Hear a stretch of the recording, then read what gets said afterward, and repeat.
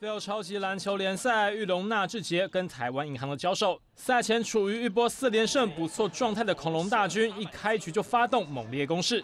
不仅有洋将夏普冲击禁区，单节八分六篮板当中有五记进攻篮板，外围还有胡凯翔发炮，个人连标三记三分球，帮助玉龙第一节打完取得二十七比十九的领先。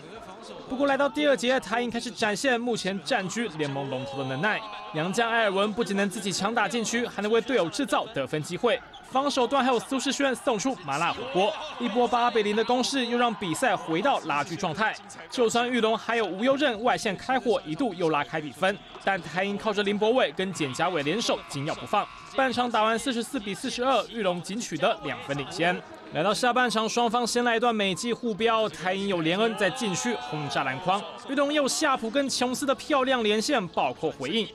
不过率先打破僵局的还是红色大军，埃尔文跟林博伟连续外线进账，其中林博伟这场上场十五分钟以百分百命中率攻下十分，帮助台银三节打完六十二比五十七逆转超前。决胜第四节，台银维持高档状态，多次漂亮小组配合，轻松拿分。同时，区域联防也有效限制上周最佳洋将琼斯的破坏力，让琼斯全场只有十分十一篮板，和前次交手猛砍四十分的表现有很大的落差。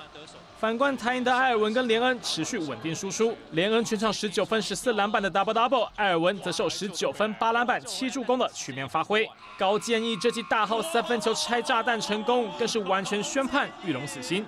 最后，台银七十九比六十八赢球，斩断玉龙的四连胜。YT 台综合报道。